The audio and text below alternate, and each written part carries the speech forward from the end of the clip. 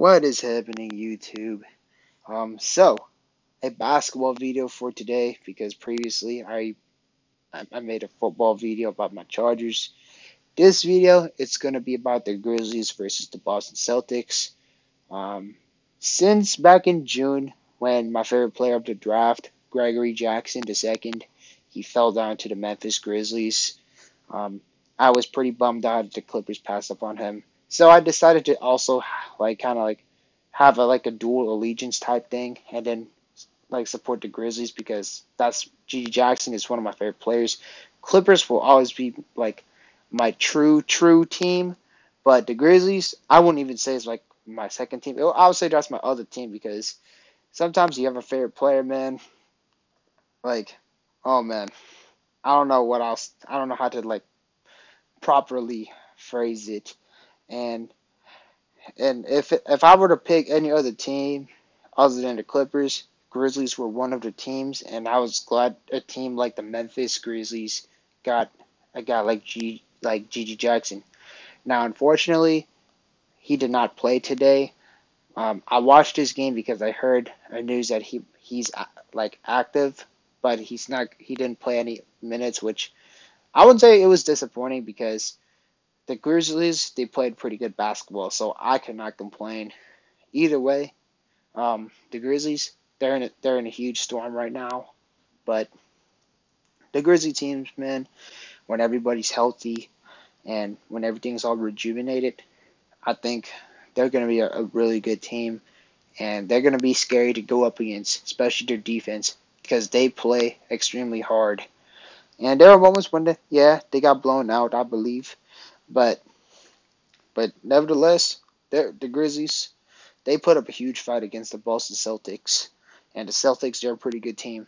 Celtics they got Porzingis, they got Tatum, they got Holiday, they got Jaylen Brown. Pretty stacked squad. But the Grizzlies, they put up the fight, and man, couldn't be.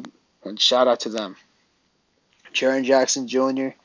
eight rebounds, one block, one steal, uh, 17 points that man plays hard, and I heard a lot of people they were giving him so much flack due to his bad summer league performance, but Jaren, from what I've seen from this game, he puts an effort on defense. It's like when it looks like he, you blew you blew by him, he always managed to find a way and they go for a block, and he doesn't let you uh, score on him that easily. Yeah, you, you might get like a like a hook shot on him, but when it looks like you're gonna get a like a wide open layup. Jaren, he plays hard. Plays extremely hard and he goes for the block. Um, Santi Aldama, I mean Santi Aldama. Um, I've heard, I've been aware of him. Um, I've been neutral about him. I didn't have any opinions on him until this game, and this game, it kind of maybe grew on him. Um, Aldama, he he he had a, an amazing game uh, versus the Celtics for this one. He had he made six threes, which is impressive. So from what I've seen, he doesn't seem to be like a true big man. He seemed more like a a type of big that would like to space the floor, um, kind of like a oh a like a Walmart version of Lauri Markkanen because Lauri Markkanen he's a beast. So you don't want to say he's like he's literally like a Lauri Markkanen, but I'd say like a really Walmart version of Lauri Markkanen or occasionally how Jonas Valanciunas plays, but the thing is, is Jonas he, he posts up, or you can also say Aldama is kind of like a a developed version of uh, what Dragan Bender was supposed to be. But basically, he's one of the one of like the three point shooting bigs, at least from what I've seen in this game. But nevertheless, he was pretty good in this game. Twenty eight points, twelve rebounds, uh, six assists, two steals. He was playing pretty hard. Um, sometimes he gets a little too fancy at times, and then you know sometimes like when I first saw him play, I was like, nah, like why are you trying to shoot threes all the time? But then apparently looks like him shooting threes. That's just his game, and he's he's just like more of a modern big. Um, and then Bismack Biyombo. Uh, Bismack Biyombo. Um, he was solid. Um, you know, stat sheet doesn't look too too good, although he does foul a lot. But he plays pretty hard on defense. Rebound is not as good, only two rebounds. Um, you know, he only scored two points, but he's more of like a defensive guy. And I think Bismack Biyombo was like a huge underrated uh, steal for a team like the Memphis Grizzlies, especially since the Grizzlies like defense is like their identity. Um, he he had like way better games previously. Like he would get like double double, I believe, and he got multiple blocks. This game I didn't see like a complete highlight of. I mean I didn't see like a elite game of Bismack Biyombo, but I still kind of like notice moments when he looks like a solid player. Only thing is he needs to try to work on, you know, try to not foul too much. Even Jaren, he has that problem too, but Jaren, he seems like looks like he did better in this game. Uh, Konchar, um, you know, Konchar, he also plays pretty hard too. Plays hard on defense, gets rebounds, hustles. Offense doesn't do much, but he would hustle. He would get rebounds. Um, three assists, not too bad. Um, he plays. He he puts into effort. Like I'll definitely tell you that. Desmond Bane, huge shout out to him. That man was a bucket. Oh man, he was making buckets in so many ways. Well, not really so many ways, I should say. He was splashing threes. Um, if I could give this man like a comparison, if I were to describe his game to like a more old school fan who never seen the Grizzlies, he's he kind of is like a Milwaukee Bucks Ray Allen because sometimes I'll be you know watching highlights of older players and Milwaukee Bucks Ray Allen. Of course, Ray Allen he's known for shooting threes, but when Allen was with the Bucks, he likes to drive to the rack. And Desmond Bane, he could drive to the rack at times, but Bane, he's more of a three point shooter. He's really strong, really burly. Um, and Bane, this this Loki could be this is definitely like his breakout year that will be swept under the rug because the Grizzlies are not like doing as good. I could see him kind of have like a Bradley Beal type trajectory like about like two years ago when he was averaging 35 points a game. Because Bane, he looking pretty solid, man. Eight assists too. So like without a lot of people, without Rose, without Ja, like he's essentially running the point guard.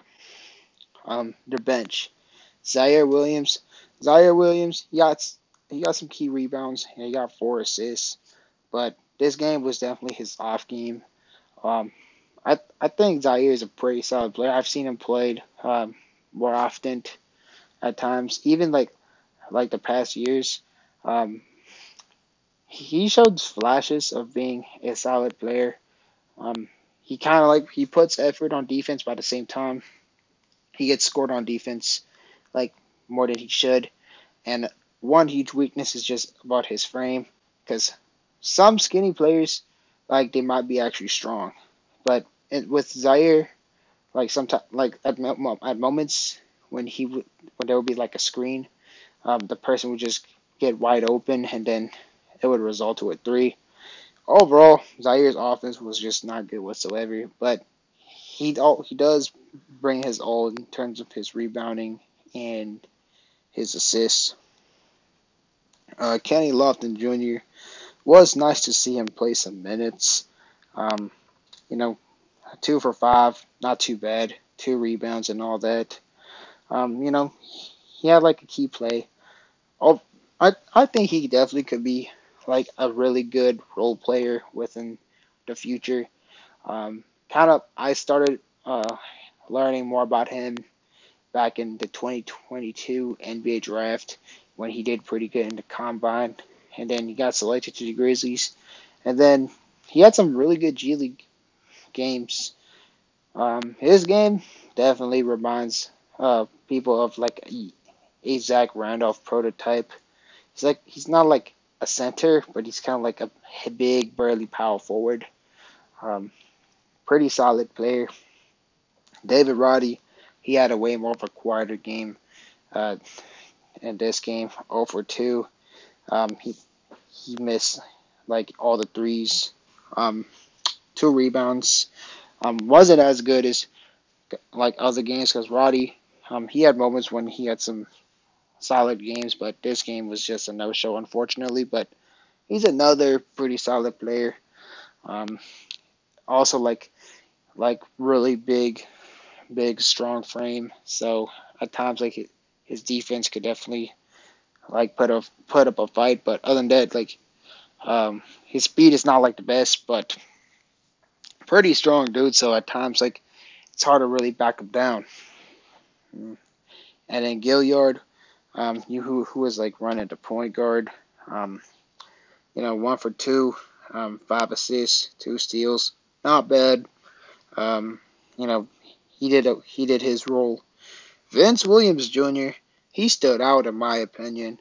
Um, I I really liked from what I've seen from his defense, and he he hit really key threes, um, two for threes, two for three, and two blocks. Um, was pretty impressed with his game. Um, like if anything, this game definitely kind of caught my attentions of other players. Caught my attention on Aldama. Um, even kind of like got me paid a little more attention of, of what Konchar can do, and uh, and Vince Williams, like I really like started paying more attention to uh, Vince Williams from now on because he brings it his all on defense, and he could hit pretty key. He could hit threes, so solid player. But but man, they put up a huge fight against the Celtics, and of course, I'm really bummed out that GG Jackson didn't play today. I'm really convinced if GG Jackson played today, Grizzlies would have won a game. But he, but the thing is, the, his team, his G League team, had a game today, and GG Jackson played. So, so it's understandable why the coach didn't decide to play him because, you know, playing back to backs is already like stressful enough. But if you play like during the same same day, like you played a game on the afternoons and then you play during a night, yeah, he there's a huge chance that could definitely fatigue a player. So I kind of understood his decisions of not playing him, but still would have been nice if I got to see like 10 minutes of him or 15 minutes because look out for him. Just look out for him. The next two years, three years, you guys will see what I'm talking about about GG Jackson because that guy's killing it. But anyways, let's talk about the Boston Celtics. Jayson Tatum, he played like how he usually does. Um, 20 points. So it was, it was a lower scoring night, but he got a lot of rebounds, like almost like a double double, and five assists, one steals. But he got a lot of turnovers too. So, you know, um, so it was kind of like his off game. Uh, Kristaps Porzingis, he was a bucket, uh, 26 points, 8 rebounds, 6 blocks.